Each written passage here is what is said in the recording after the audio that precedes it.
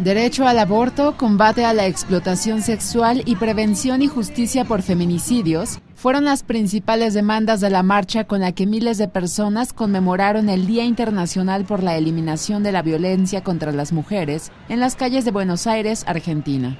La actividad central de la conmemoración fue la masiva marcha que partió del Congreso rumbo a Plaza de Mayo y en la que fue evidente que cada vez hay una mayor participación masculina. Como parte de la movilización, un grupo de periodistas integrantes del colectivo Ni Una Menos presentó el primer índice de violencia machista argentina, elaborado a partir de una encuesta vía Internet que respondieron casi 60.000 mujeres durante tres meses.